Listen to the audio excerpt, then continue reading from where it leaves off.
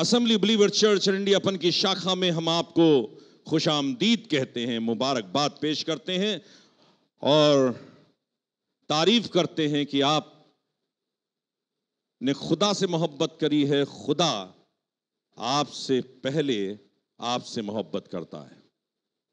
आइए खुदा के कलाम की ओर आगे बढ़ेंगे और परमेश्वर के वचन से सीखेंगे कि खुदा हमसे आज की तारीख में क्या बात करना चाहता है? ध्यान दे के सुनिएगा, थोड़े से समय में बहुत सी बातें। और आज का मजबून है, आज का शीर्षक है, शेपर्ड, चरवाहा। दुनिया में चरवाहों को देखते हैं और बहुत से चरवाहे अच्छे होते हैं, बहुत से थोड़े अच्छे होते हैं, लेकिन कामिल चरवाहा कोई देखने में नहीं मिलता। सिद्ध चरवाहा देखने को नहीं मिलता, लेकिन कोई ना कोई एक छोटी सी झलक एक में और कोसी के जीवन में दूसरी झलक दिखाई पड़ती है। सारी झलकें एक चरवाहे के अंदर देखने को नहीं मिलती, इसीलिए इस दुनिया के अंदर लोग अपने जानवरों को चराने के लिए चरवाहे रखते हैं और अक्सर देखने में आता है कि एक चरवाहे के अंदर अगर कोई खामी पाई जाती है तो वो बदल देते हैं, दूसरा चरवाहा लाओ। ये नहीं, ये सही। इसको आजमाएँगे, उसको आजमाएँगे। लेकिन मालिक जो है, चरवाहे के अंदर कुछ खूबियों को देखना चाहता है, जो अपने भेड़ों का, गायों का जानवरों का मालिक है, बकरियों का मालिक है, वो चरवाहे में कुछ खूबियाँ देखना चाहता है और जिसके अंदर बेस्ट खूबियाँ नज़र आती हैं, उसको वो अपने लोगों के लिए चरवाहे नियुक्त कर लेता है। तो सबसे पहले जानने की आवश्यकता यह है कि चरवाहे में खूबी क्या होती है। चरवाहों में खूबी क्या होती है? कौन सी ऐसी कैरेक्टरिस्टिक मालिक चरवाहे के जीवन में देखना चाहता है? खुदा के कलाम में अगर आप झाँक कर देखेंगे तो खुदा ने अपने लोगों को, जो लोग उस पर ईमान रखते हैं, उनको भी भेड़ों की संज्ञा दी है। भेड़ कह के पुकारा है। और वो भेड़ों के लिए, अपनी भेड़ों के लिए, अपनी भोली भेड़ों के लिए, अपनी कमज़ोर और नासमझ भेड़ों के लिए भी दानिश्वर, अकलमंद, बुद्धिमान चरवाहों की तलाश करता है। वो चाहता है मेरी भेड़ों की चरवाही बेहतर लोग करने वाले हो सकें। तो सबसे पहले हम बताना चाहते हैं, यहाँ पर बहुत से भेड़ भी बैठी हैं और बहुत से चरवाहे भी बैठे और बहुत सी क्या? बकरी भी बैठी हैं। इशारा नहीं कर रहा हूँ, लेकिन बता रहा हूँ, भेड़ों के बीच में बकरियाँ भी होती हैं और भेड़ों की भी चरवाई की जाती है और बकरियों की भी चरवाई की जाती है।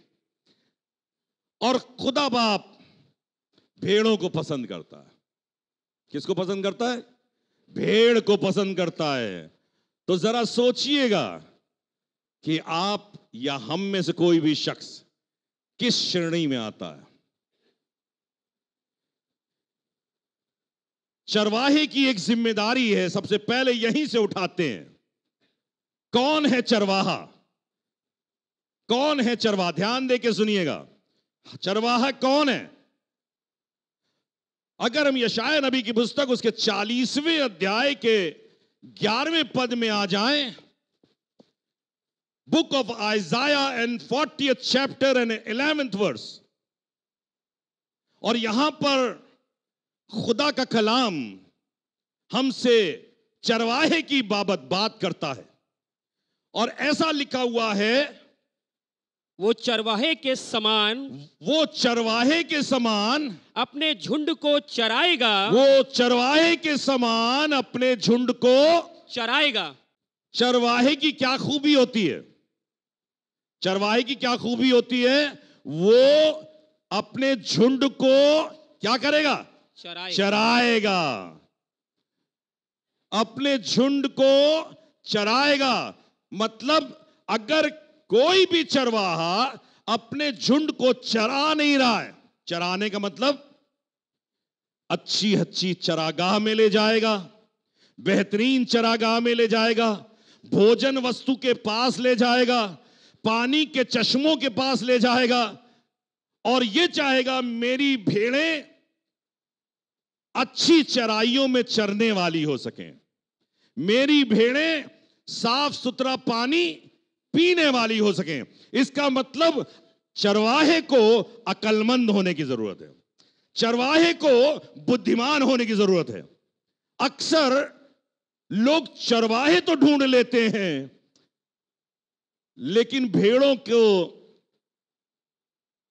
इतनी सहूलियत नहीं दी गई कि वो चरवाहे को तड़े, देखें, समझें। ये जानवर होते हैं। लेकिन आप इंसान हो। आप मनुष्य हो, जिसको परमेश्वर ने अपनी चराई की भेड़े कहा है। और खुदा यह चाहता है, परमेश्वर यह चाहता है कि हम इंसान लोग समझें कि हमारा चरवाहा कैसा है। हमारा चरवाहा कैसा है? आया उसके जीवन के अंदर ये पर्टिकुलर क्वालिफिकेशन पाई जाती है कि नहीं पाई जाती है? जैसा यहाँ पे लिखा हुआ है कि वो चरवाहे के चरवाहे की नाई अपने झुंड को चराएगा। अपने झुंड को चराएगा। ढूँढने की ज़रूरत है देखने की ज़रूरत है। चरवाहे के अंदर यह खूबी होनी चाहिए कि वो अपने झुंड को चराए। अपने भोजन को खाकर आप समझने की कोशिश करें क्या मेरे पास जो भोजन परोसा गया जो भोजन मुझे दिया गया क्या मैं उससे तृप्त हूँ मैं उससे खुश हूँ? वो चरवाहे की मानिंद अपने झुंड को चराएगा आगे बढ़िए हाँ। वो भेड़ों के बच्चों को वो भेड़ों के बच्चों को अंकवार में लिए रहेगा। वो भेड़ों के बच्चों को कैसे लिए रहेगा? अंकवार अंकवार में, में। अंकुवार क्या मतलब होता है? गोद लैप कहते हैं हिंदेजी में। और एक और शब्द इसका इस्तेमाल हुआ है बूजम। बूजम अपनी गोद में अपने सीने से लगाए रहेगा। लिखा हुआ है भेड़ों के बच्चों को। बहुत से यहाँ भेड़ हैं और बहुत से भेड़ के बच्चे हैं। चरवाई की ये खूबी होती है कि वो भेड़ों के बच्चों को कहाँ ले ले? गोद। अभी बच्चे हैं चलना भी नहीं चाहते। जानते हैं और वो उनको दौड़ाता है ज़मीन के ऊपर। है? उनको संटी मारता है। कहता, चल नहीं रहे हो, ठीक से चलो। वह चरवाहे की खूबी होती है कि वो अपनी भेड़ों के बच्चों को कैसे लेता है? गोद में ले लेता है, उसे बड़ा प्यार करता है, उसे दुलारता है, उसको अपनी तरफ़ आकर्षित करता है, उसको इस बात को समझने की तौफीक देता है कि मैं तेरा चरवाहा हूँ और मैं तुझे अच्छी अच्छी चराई में चराऊँगा। मैं तुझे प्यार करता हूँ, मुझे तेरी खबर कीरी करने की मुझे अकल समझी दी गई है कि मैं तुझे चराऊं। वो उसे अंकवार में लिए रहेगा और और दूध पिलाने वालियों को और दूध पिलाने वाली के जिन्होंने अभी बच्चे जने हैं जिनके पास छोटे छोटे बच्चे हैं तो लिखा है दूध पिलाने वालियों को धीरे धीरे ले चलेगा। क्या लिखा है? धीरे धीरे ले चलेगा, ले चलेगा। उनको हाकेगा नहीं तेज़ी से। चलो तेज़ी से चलो। चलो भागो यहाँ से। वो अंगवार में लिए रहेगा। वो अपनी गोदी में लिए रहेगा। और उनको वो हरी हरी चराइयों में चराएगा। पानी के चश्मों के पास ले जाएगा। खुदा का कलाम हमको शिक्षा देता है। और ये बातें चरवाहे को समझने की आवश्यकता है और भेड़ों को भी समझने की आवश्यकता है। अगर इन बातों को हम समझेंगे तो हम हरी हरी चराइयों से बहुत फ़ायदा उठाने वाले हो सकेंगे।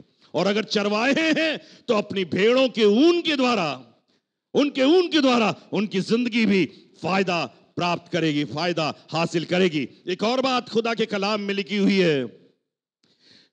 यह ज़िक्र है सैम्बल की पुस्तक के अंदर। पहला सैम्बल और उसके सत्रहवें अध्याय के इकतीसवें पद में लिखा है। एक चर्चा हो रही है।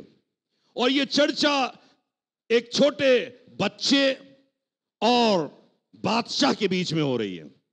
सामने जाति जूलियत खड़ा हुआ है और वो लोगों को इज़राइली कौम को ललकारता है। और ये छोटा सा लड़का जिसके चेहरे पे लाली छाई थी, ये देखता है, अरे भाई, ये कौन है नामख्तून फिलिस्ती? ये इज़राइली कौम को कैसे ललकार रहा है? इसका खुदा तो इसराइली कौम का खुदा तो यहोवा है। और कैसे ये ललकार सकता है? तो वो उससे लड़ने की, उसको परास्त करने की, जाति जूलियत को मार डालने की इच्छा ज़ाहिर करता है। और इस छोटे बच्चे की सूचना साउल बादशाह तक पहुंचाई जाती है। साउल बादशाह उससे बातचीत करता है। आमने सामने खड़े होकर बातचीत करता है। और यहाँ पर चौतीसवें पद में लिखा हुआ है, जब साउल उससे कहता है, दाऊद से कहने लगता है, अरे तू तो लड़का है, अभी तू छोटा बच्चा है, और जो सामने लड़ने आया है, ये तो बचपन से योद्धा है। ये तो बचपन से योद्धा है। ये जमाने जमाने से युद्ध करता चला आया है। तू कैसे इससे लड़ेगा? तो आपको बताना चाहता हूँ, इस अकल को जो दाऊद के जहन के अंदर बचपन में डाली गई थी वो साउल बादशाह से मुखातिब होकर कहता है पढ़िए मेहरबानी से क्या लिखा है? हाँ। दाऊद ने शाउल से कहा दाऊद ने शाउल से कहा तेरा दास तेरा दास अपने पिता की भेड़ बकरियाँ चराता था। अपने पिता की भेड़ बकरियाँ चराता था। और जब कोई सिंह या भालू जब कोई सिंह या भालू झुंड में से मेमना उठा ले जाता अरे झुंड में से मेमना उठा ले जाता था तब मैं उसका पीछा करके तब मैं उसका पीछा करके उसे मारता उसे मारता और मेमने को और मेमने को उसके मुँह से छुड़ा लेता मेमने को उसके मुँह से छुड़ा लेता। छुड़ा लेता था। आगे बढ़िए। और जब वो मुझ पर हमला करता और जब वो मुझ पर हमला करता था तब मैं उसके केश को पकड़कर केश को पकड़कर उसे मार डालता उसे था। मार डालता था। ये है चरवाहे की खूबी। ये है शेपर्ड की खूबी। इस खूबी को शेपर्ड को अपनी ज़िंदगी में रखने की आवश्यकता है। लिखा है वो साउल बादशाह को कन्विंस कर रहा है। अरे तू मेरे कद और काठी पे मत जा। मेरी गाल की लाली पे मत जा। ये मत देख कि मैं बच्चा हूँ, लेकिन मेरे अंदर खुदा ने बचपन से चरवाहे की खूबी डाली है। मेरी ज़िंदगी के अंदर चरवाहे की खूबी को कूट कूट कर डाला गया है, इसीलिए खुदा कहता है, मैंने अपनी कौम को चराने के लिए एक शख्स चुन लिया है, जो देर मेरे दिल के मुताबिक है, और वो ऐसा मेरे दिल के मुताबिक है कि मेरी भेड़ों की रखवाली वो दिल से करेगा और जैसा मैं चाहता हूँ, वह, वो उसकी रखवाली करने वाला हो सकेगा। सर, जब कलीसिया में ऐसे बहुत से सिंह और भालू बाहर घूम रहे हैं, जब कलीसिया के लोगों को, भेड़ों को वो नुकसान पहुंचाना चाहते तो ये चरवाहे का फ़र्ज़ है कि वो उनके मुँह से उनको छुड़ाए। क्योंकि भेड़े तो नादान है, भेड़े तो ना समझे वो तो समझ भी नहीं रही है। एक और खूबी है जो चरवाहे के अंदर पाई जानी चाहिए, और ये हम आपको बता रहे हैं। ये बहुत सी भेड़ों को बता रहे हैं ताकि चरवाहों पर ध्यान दें, समझें कि चरवाहा कौन है। पढ़िए आगे। यशाय नबी की पुस्तक अड़तीसवां अध्याय और बारहवां पद। पढ़िए। मेरा घर मेरा घर चरवाहे के तंबू के समान चरवाहे के तंबू के समान उठा लिया गया है। उठा लिया गया बस। मेरा घर चरवाहे के तंबू के समान क्या कर लिया गया है? उठा उठा लिया गया। चरवाहे के अंदर एक खूबी होती है। चरवाहे के अंदर क्या तीसरी खूबी क्या होती है? चरवाहे के अंदर तीसरी खूबी क्या होती है? अभी पढ़ा आपने। मेरा घर चरवाहे के तंबू के समान उठा क्या लिया। गया उठा लिया इसका मतलब इससे पहले कि चरवाहा भेड़ों को चराए, एक काम करता है। क्या करता है? एक तंबू लगाता है, एक शेल्टर बनाता है, एक रखवाला घर बनाता है कि मेरी घेड़े जब चराई में, धूप में चरेंगी, बहुत तकलीफ़ होगी, बहुत गर्मी में होंगी, इनको आवश्यकता होगी कि ये छांव में बैठे। ये ठंडे में बैठे, ये आराम से बैठे, ये आराम से जुगाली करें। जुगाली करने की व्यवस्था कौन करेगा? चरवाहा करेगा। जुगाली करने की व्यवस्था बेहतर अवस्थाओं को प्रबंध करेगा कौन? चरवाहा करेगा। ये वो देखेगा, इनको धूप से नुकसान तो नहीं हो रहा है। हाँ धूप शरीर को लगनी चाहिए, लेकिन मेरी भेड़ों को कोई नुकसान ना हो। मेरी भेड़ों को कोई नुकसान ना हो, ये आराम से बैठे, ये आराम से सोए। क्योंकि जितनी भेड़े बेहतर अवस्था में रहेंगी, वो उतनी ही तंदुरुस्त रहेंगी, उतने ही उनका ऊन बेहतरीन होगा। जब ऊन बेहतरीन होगा तो चरवाहा रईस कहलाएगा। कैसा कहलाएगा?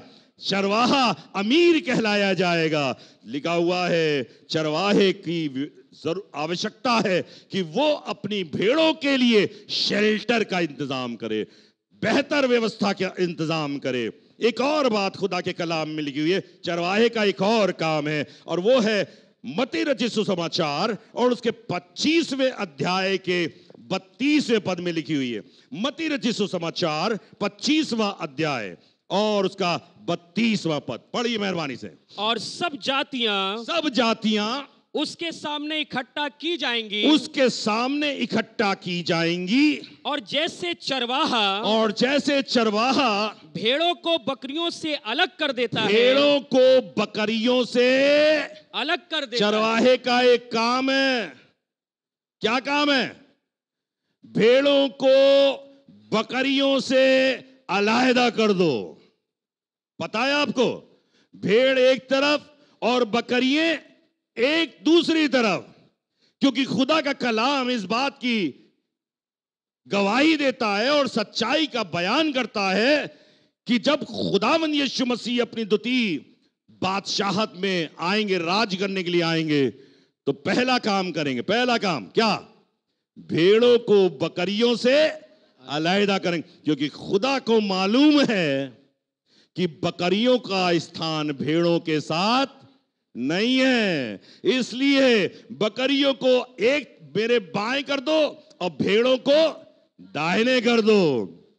इनका स्थान एक साथ नहीं है। ये चरवाहे की ड्यूटी है। बेहतर खाने पीने की व्यवस्था, बेहतर रहने की व्यवस्था, बेहतर चराई की व्यवस्था, बेहतर शेल्टर की व्यवस्था और बेहतर सुरक्षा की व्यवस्था। ये चरवाहे की ज़िम्मेदारी है। लेकिन आज जानने की आवश्यकता यह है कि आज दुनिया के अंदर चरवाही कैसे की जा रही है। हमको समझने की आवश्यकता है कि खुदा बाप जब आसमान से नीचे ज़मीन पर देखता है, हालाँकि उसने ही दरख्वास्त की, जब अपने चेलों से बातचीत कर रहा था तो उसने कहा कि खेत के मालिक से दरख्वास्त करो। क्या? खेत के मालिक से दरख्वास्त करो कि खेत पके हुए खड़े हैं और मजदूर थोड़े हैं। मजदूर थोड़े इसलिए बाप से दरख्वास्त करो कि मजदूर भेजे ताकि खेतों की कटनी की जा सके। लेकिन आज जब खुदा बाप आसमान से ज़मीन पर देखते हैं, किताब मुकद्दस इस बात की गवाही देती है कि वो किस प्रकार के चरवाहों को इस दुनिया में देख रहे हैं। एक ज़िक्र खुदा के कलाम के अंदर second Chronicles and eighteen chapter and sixteenth verse यहाँ पे पाया जाता है। ये ज़िक्र मैं थोड़ा सा आपको बता दूँ। ये इज़राइल के बादशाह और यहूदा के बादशाह का कन्वर्सेशन वार्तालाप दिखाया जा रहा है। इज़राइल का बादशाह था आहाब और यहूदा का बादशाह कौन था? यहोशपात। और इन दोनों ने आपस में रिश्तेदारी कर ली, समधियाना रच लिया। एक की बेटी दूसरे के बेटे के पास या इसकी बेटी इसके पास पहुंचाई गई। इसी तरीके से समझाना होता ना, कि कोई कोई और तरीका। इसी तरीके से शादी रचवा ली। सबसे नज़दीक रिश्ता होता ये समधियाना। समधियाना कर लिया। और हुआ कुछ इस तरीके से कि इज़राइल के बादशाह ने जो अहाब था, यहूदा के बादशाह यहोशपात को यह कहकर भेजा कि अब तो भैया रिश्तेदारी हो गई है। अब एक काम क्या हमारे साथ मिलकर करोगे? कहने क्या काम? बताइए मुझे कि हम ये चाहते हैं गिलाद के रामोद के ऊपर, गिलाद के रामोद के ऊपर हम मिलकर चढ़ाई करें। गिलाद के रामोद पर मिलकर चढ़ाई करें। क्या तू हमारी मदद करेगा? तो यहोशपात कहता है, अरे, जैसा तू, वैसा मैं, जैसे तेरे लोग, वैसे मेरे लोग, और जो तू कहेगा, उसी तरीके से हम चढ़ाई करेंगे। लेकिन एक बात यहोशपात बादशाह इसराइल के बादशाह से कहता है, एक काम कर, जरा पूछ ले कि जब हम गिलाद के रामोत पर लड़ाई करेंगे तो क्या यहोवा हमारी मदद करेगा? परमेश्वर हमारी मदद करेगा? वो क्या कहता है? अहाब ने कहा ठीक है, मैं अपने नबियों को बुलाता हूँ। ढेर सारे नबी नबी 400 नबी देश में रहते थे। उन लोगों को बुलाया गया और बुलाकर उनसे पूछा गया, क्या हम गिलाद के रामोत पर लड़ाई चढ़ाई करने के लिए जाएँ? तो लिखा है परमेश्वर के वचन के अंदर, वो सब एक ही भाषा बोलने लगे। वो एक ही भाषा बोल रहे थे। क्या कह रहे थे? हाँ हाँ तू चढ़ाई कर और परमेश्वर तुझे कृतार्थ करेगा, तुझे आशीषित करेगा, तू उनको मार लेगा, तू जैसा चाहे वैसा। लड़ाई कर। तो उसने कहा, यहोशपात बादशाह ने कहा, क्या यहाँ पर कोई और नबी है? क्या कोई और नबी है जिससे हम पूछे, ये तो सब एक ही भाषा बोल रहे हैं, कुछ वर्क नहीं बोल रहे हैं। तो अहाब बादशाह ने कहा, हाँ, एक नबी और है जिसका नाम मिकाया है। उसका नाम मिकाया है, लेकिन मैं दिल से उससे क्या करता हूँ? घृणा करता हूँ।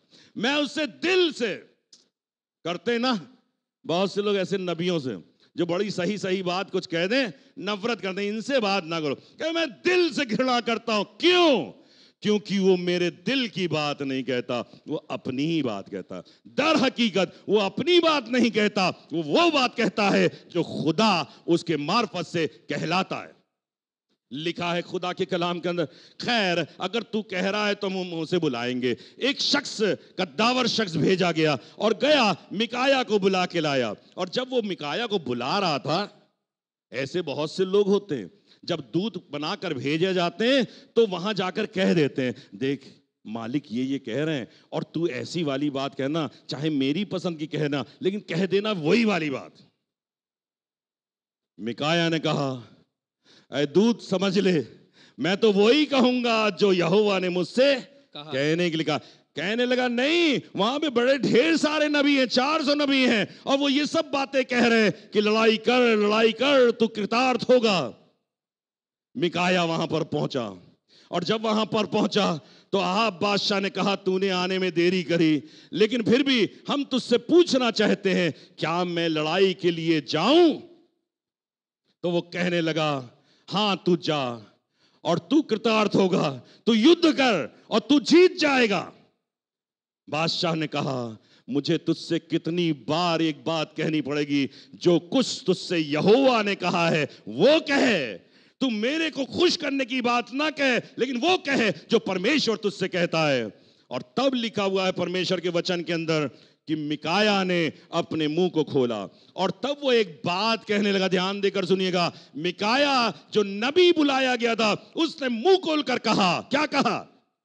मुझे सारा इज़राइल मुझे सारा इज़राइल बिना चरवाहे की भेड़ बकरियों के समान बिना चरवाहे की भेड़ बकरियों के समान। पहाड़ों पर तितर बितर दिखाई पड़ा। पहाड़ों पर तितर बितर दिखाई पड़ा। दिखाई पड़ता है। मुझे सारा Israel the whole people who belongs to God they have been scattered all over the hills आज की परिस्थितियाँ इस देश हिंदुस्तान के अंदर ही नहीं, बल्कि पूरे दुनिया के अंदर एक जैसी है।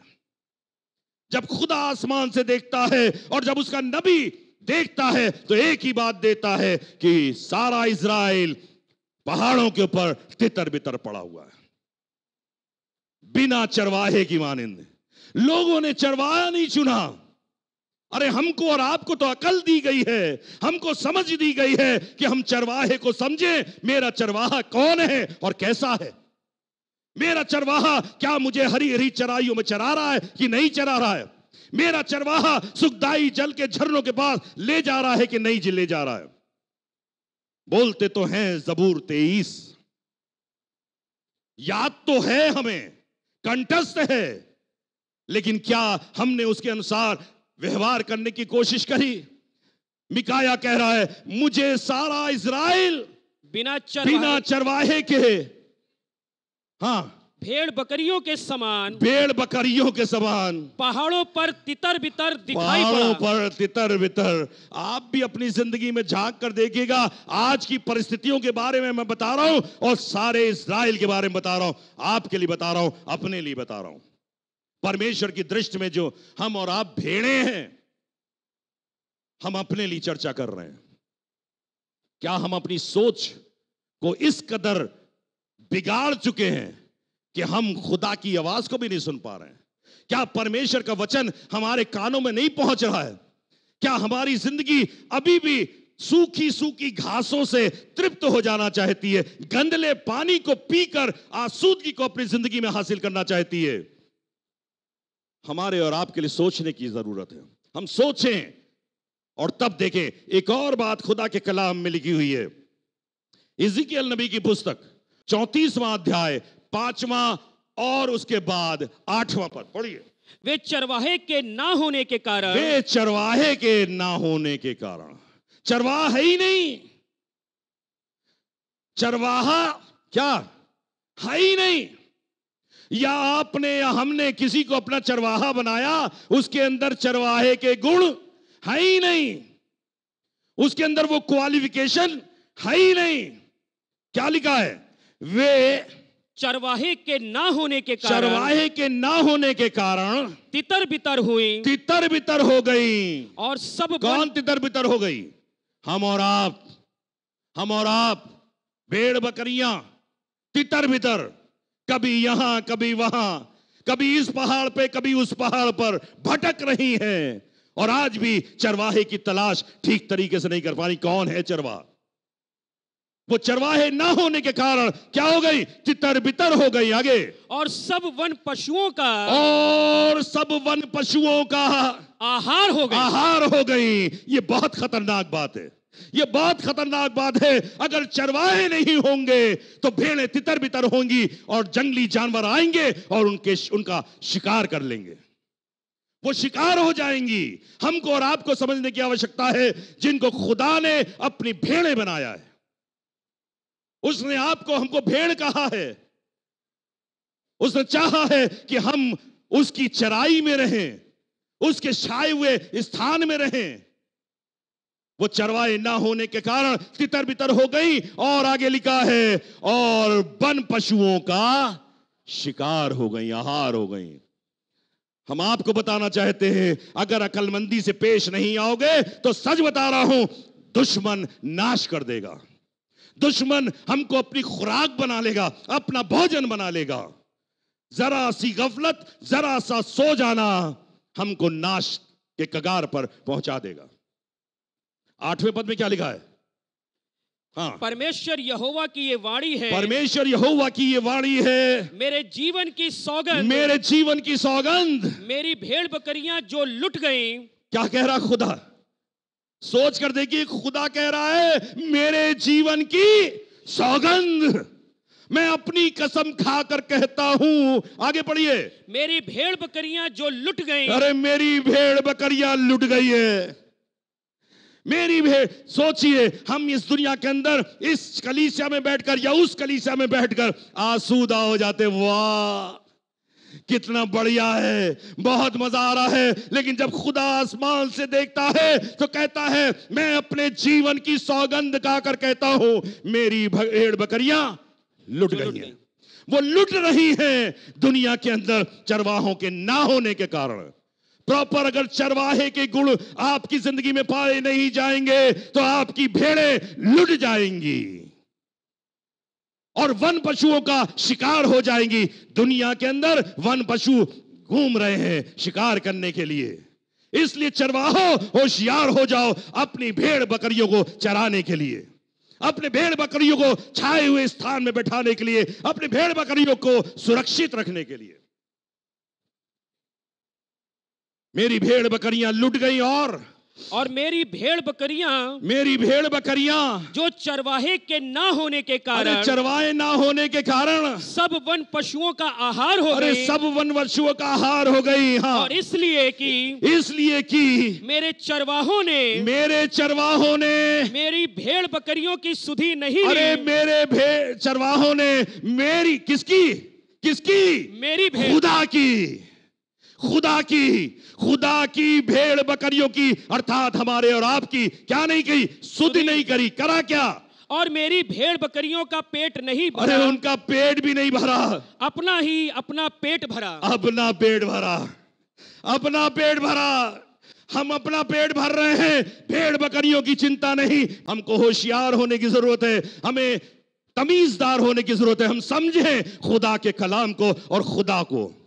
खुदा क्या चाहता है? और हम जब खुदा के कलाम को ही नहीं जानते तो हम समझेंगे क्या? हम समझेंगे क्या? हमारा व्यवहार कैसा होगा?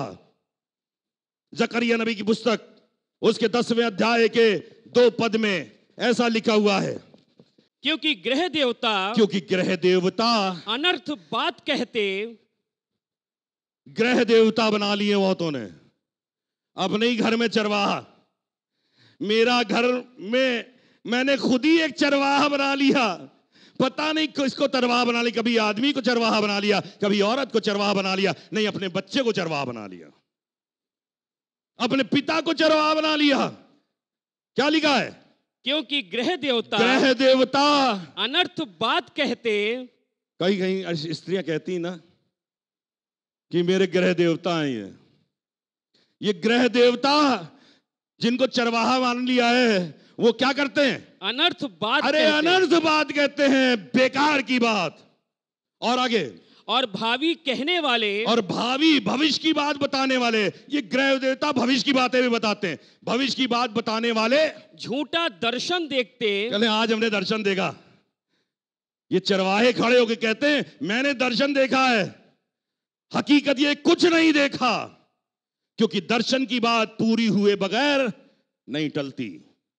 दर्शन की बात हाँ और आमीन के साथ पूरी होती है। ये ग्रह देवता झूठा दर्शन देकर लोगों को बहका देते हैं। आगे बढ़िए हाँ। झूठा दर्शन देखते झूठा दर्शन देखते और झूठे स्वप्न सुनाते क्या? क्या करते? आज के जमाने में। कहने अगर इसको मीठी मीठी बात करो ये समझ में आ जाएगा। झूठा दर्शन देखते और और झूठे स्वप्न अरे सुनाते झूठे झूठे स्वप्न सुनाते हैं। और आगे बढ़िए। और व्यर्थ शांति देते हैं। और व्यर्थ शांति देते क्या हैं। मतलब? व्यर्थ शांति देते हैं। शांति शांति शांति। तुमको शांति मिल जाए। हम देख गए और नाश हो गया उस दिन से। घर में नाश आ गया। शांति की बात है व्यर्थ। क्योंकि शांति का राजकुमार तो वही है।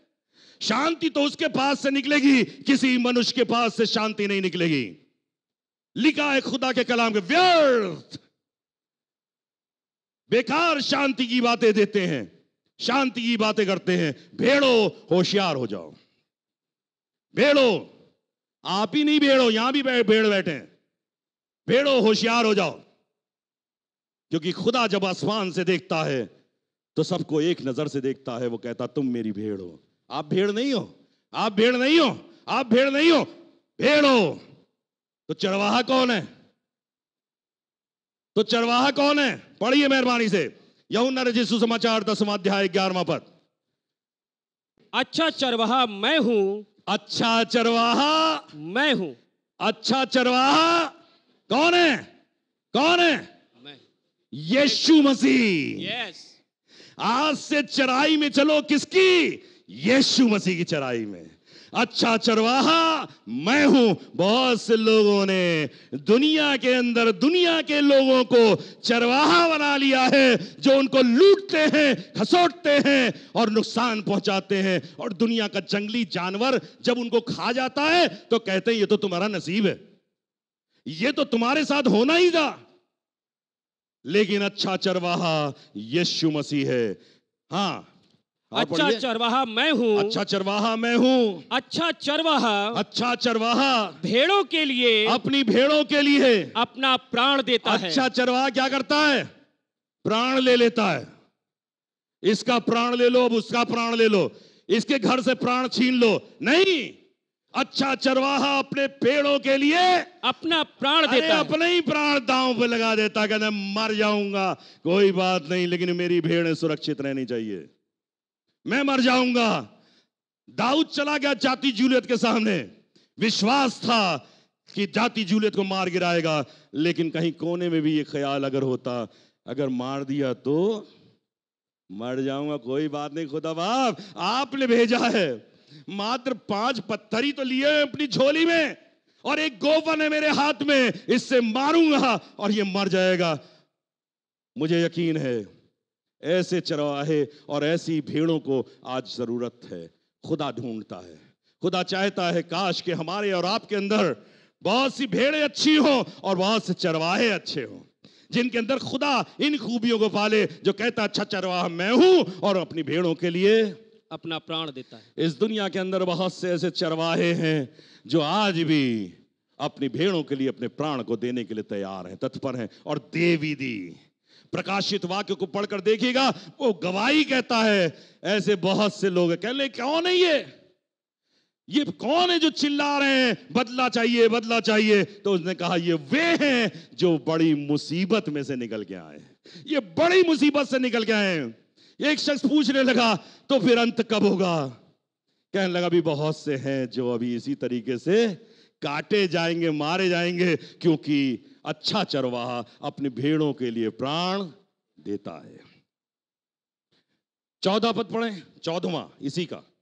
यहुन्ना दस चौदह। अच्छा चरवाहा मैं हूँ। अच्छा चरवाहा मैं हूँ। मैं अपनी भेड़ों को जानता हूँ। मैं अपनी भेड़ों को जानता हूँ। और मेरी भेड़े मेरी भेड़े मुझे जानती हैं। पढ़िए। जैसा पिता जैसे पिता मुझे जानता है मुझे जानता है। और मैं पिता को जानता हूँ मैं पिता को जानता हूँ। और मैं भेड़ों के लिए भेड़ों के लिए अपना प्राण देता अपना हूँ। प्राण देता हूँ और अपनी भेड़ों को और अपनी भेड़ों को इतना जानता हूँ कि नाम लेकर कहता हूँ अरे फलाने इधर आ जल्दी आ मैं कल एक वीडियो देख रहा था। एक शख्स गया बड़े प्यार से भेड़ों को बुलाने लगा। तमाम जानवरों को बुलाने लगा, आओ आओ, इधर आओ। दिखा रहा था हरी हरी चराई। वो भेड़ें दूर जाने लगी। एक दूसरा आया, उसने बांसली बजाई और भेड़ों को बुलाया, इधर आ जाओ बांसली से आ जाओ। बहुत से लोग हैं ना, बांसुरी बजा के बुलाते हैं भेड़ों को, हैं? नहीं आई। क्यों?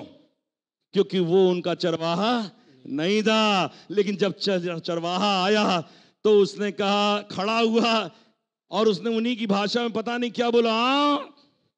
ऐसे बोला, सारी भेड़ें सारे जानवर मीलों दूर से दौड़ते हुए चले आए, क्योंकि चरवाहे की भेड़ें अपने मालिक को पहचानती ये मेरा मालिक है अगर आज भी आप सताए जा रहे हो, जंगली जानवरों का शिकार हो रहे हो तो इसमें चरवाहे की गलती नहीं, ये आपकी गलती है आप अब अभी तक अपने मालिक को, अपने चरवाहे को समझ ही नहीं पाया। अच्छा चरवाहा सिर्फ़ खुदा यीशु मसीह है। दुनिया के अंदर चरवाहे ढूंढोगे, नुकसान उठा जाओगे। कुछ एक, दो, तीन बातें बताकर खत्म करूँगा। अच्छे चरवाहे की खूबी ढूंढ लीजिएगा जब कभी चरवाहे के के सिलेक्शन की बात आए तो ढूंढ लीजिएगा खूबी क्या है। मती रची सुसमाचार, उसका नवा अध्याय, उसका छत्तीसवां पद पढ़िए। जब उसने भीड़ को देखा और जब उसने भीड़ को देखा तो उसको लोगों पर तरस आया। किसको किस पर तरस आया? भेड़ों पर। किस पर तरस आया? भेड़ों पर। उसको लोगों पर तरस। आया। इसका मतलब चरवाहे के अंदर एक खूबी होती है। क्या? वो जब भेड़ों को देखता है अरे तितर बितर हो रही है कुछ गड़बड़ हो रहा है तो उनको तरस आना चाहिए। अगर तरस नहीं है आपकी ज़िंदगी के अंदर तो गड़बड़ है आपके करेक्टर के अंदर। आप अपने चरवाहे के करेक्टर को देखो उसको भेड़ों पर यीशु आसमान से आया जो अच्छा चरवाहा है उसको भेड़ों पर तरस आया। तरस आया। यशाया नबी की पुस्तक चालीसवां अध्याय ग्यारहवां पद पढ़िए। वो चरवाहे के समान वो चरवाहे के समान अपने झुंड को चराएगा। अपने झुंड को चराएगा। चराएगा। मतलब जब आप चरवा चरवाहे के पास जाओ उसके अंदर ये खूबी देखो क्या ये मुझे हरी हरी चराइयों में चरा रहा है? ये राहत के चश्मों के पास ले जा रहा है? अगर ले जा रहा है तो ठीक है वेरी गुड इस दुनिया के चरवाहों पर गौर करने की ज़रूरत है। और आखिरी बात इब्रानियों की पत्री तेरवा अध्याय बीस पद। अब शांतिदाता परमेश्वर शांति दाता परमेश्वर जो हमारे प्रभु यीशु को जो हमारे प्रभु यीशु को जो भेड़ों का महान रखवाला है जो भेड़ों का क्या है? महान महान रखवाला है। भेड़ों का आप भेड़ मैं भेड़ पादरी अनिल सिंह भेड़ पादरी सुभाष भेड़ ये जितने बैठे पादरी अश्वनी सिंह पादरी सुजीत मसीह ये सब कौन है? भेड़िए भेड़ है भेड़ है। ये और हमारा रखवाला कौन है? आपका और इनका और हमारा रखवाला कौन है? यीशु मसीह जो अपनी भेड़ों का महान महान। रखवाला है। आखिरी बात first Peter fifth chapter fourth verse हाँ। जब प्रधान रखवाला प्रकट होगा देखिए बहुत बढ़िया बात बताने जा रहा हूँ खत्म कर दूँगा इसी की बात। जब भेड़ों का प्रधान रखवाला प्रकट होगा तो तुम्हें महिमा का मुकुट दिया हम जाएगा। तुम्हारे पीछे जाएँ क्यों? क्यों जाएँ? अरे नहीं बैठा रहा हमारा रखवाला छाओं में। नहीं हमको हरी हरी चराइयों में ले जा रहा। है आपको बताओ अगर आप ये सोच रखोगे नहीं पानी पिला रहा तो चलेंगे हम इसी। चलेंगे हम इसी के पीछे। तो नुकसान तो इस जन्म में भी उठाओगे और उस जन्म में भी उठाओगे जब यीशु मसीह आ जाएगा। क्योंकि यीशु मसीह के लिए लिखा है उसके पास हर एक के कार्यों के अनुसार देने के लिए प्रतिफल है। देने के लिए प्रतिफल है। क्या प्रतिफल देगा? अगर आप बढ़िया भेड़ बनोगे या बढ़िया चरवाहे बनोगे इस दुनिया के अंदर तो प्रतिफल है। क्या है? जब प्रधान रखवाला प्रकट होगा तो तो तुम्हें तुम्हें किसे? किसे तुम्हें नहीं आपको कहिए हमें। यस जब प्रधान रखवाला प्रकट होगा तो कहिए हमें। हमें। जब प्रधान रखवाला प्रकट होगा तो कहिए हमें। क्या हमें?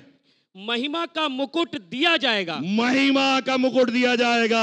अगर आपने सिलेक्शन बढ़िया किया आपका चरवाहा बढ़िया आपकी भेड़ बढ़िया तो आपको महिमा का मुकुट मुकुट मिलेगा। यस जब प्रधान रखवाला प्रकट होगा, आपका किया हुआ एक भी कार्य निष्फल नहीं होगा, बिना प्रतिफल के नहीं होगा, आपका एक एक कार्य परमेश्वर की ओर से महिमा लेकर आएगा। आइए हम सब खड़े हो जाएँ अपनी जगह पर। आपने परमेश्वर के वचन को सुना है। आपने सीखा होगा। मैं इस बात पे विश्वास करता हूँ, मेरा चिल्लाना, मेरा बोलना बेकार नहीं जाएगा।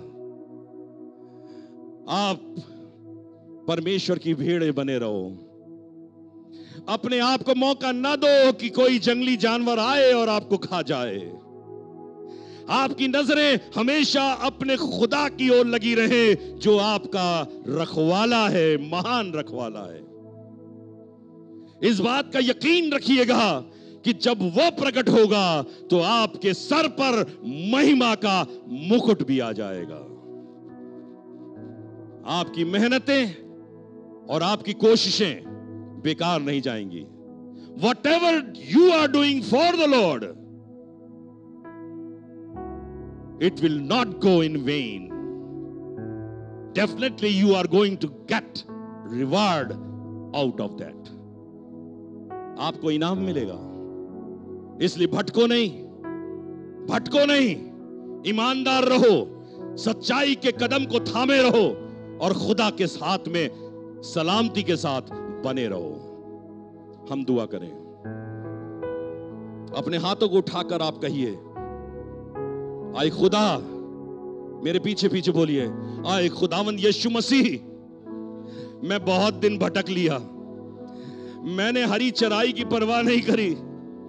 मैं हरे सुखदाई दल के धर्मों के पास भी नहीं गया। मैंने दुनिया के तमाम लोगों को अपना चरवाहा मान लिया। खुदावंद यीशु मसीह, आज मुझे समझ में आया है कि तू भेड़ों का महान रखवाला है और हम तेरी भेड़े हैं। हम ये चाहते हैं, तू मेरी चराई कर। हमें चरा, हमें राहत के चश्मों के पास ले चल। हमें जंगली जानवरों के मुँह से बचा। हमें उसे आहार ना बना आए मेरे बाप मुझ पर रहम कर, हम पर रहम कर। दुनिया के हालात जब बिगड़ते जाते हैं, दुश्मन हमको नुकसान पहुंचाना चाहता है। आए मेरे खुदावन यीशु मसीह, हम पर तरस कर। तू तरस खाने वाला चरवाहा है। हमारी मदद कर खुदा बाप। हमारी नज़रें तेरी ओर लगी है। हमारी मदद कर। यीशु मसीह के नाम से मांगते हैं। सब लोग कहें आमीन।